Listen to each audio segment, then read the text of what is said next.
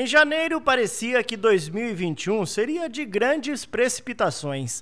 O primeiro mês do ano teve um volume de água que chegou a 380 milímetros. Foi o mais chuvoso desde 1990. Já fevereiro chegou tímido e, ao contrário dos primeiros 30 dias do ano, teve a maior seca registrada desde 2005.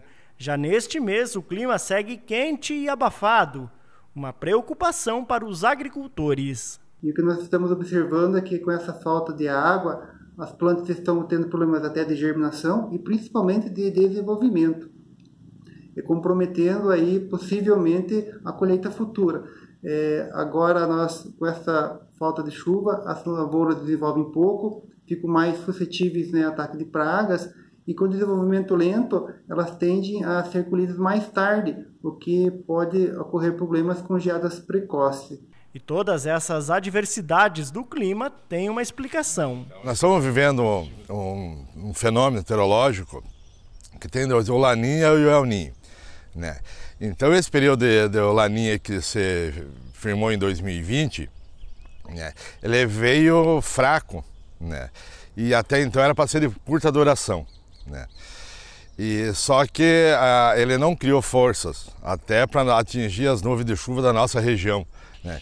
Então isso fez com que algumas regiões vizinhas ficaram com excesso de chuva, mas devido aos ventos fracos, essas nuvens de chuva não chegavam, não chegaram até a nossa região aqui de Francisco Beltrão e região. E pelo que está se desenhando nos céus do sudoeste, de acordo com opiniões de especialistas, não há previsão de chuvas consideráveis para a região nos próximos meses. Isso por conta da troca de estação, que também deve influenciar.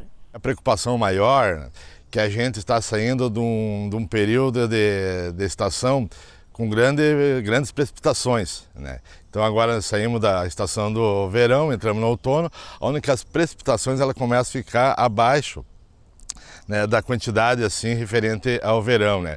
Então são registradas baixas quantidades de chuva nesse período de outono.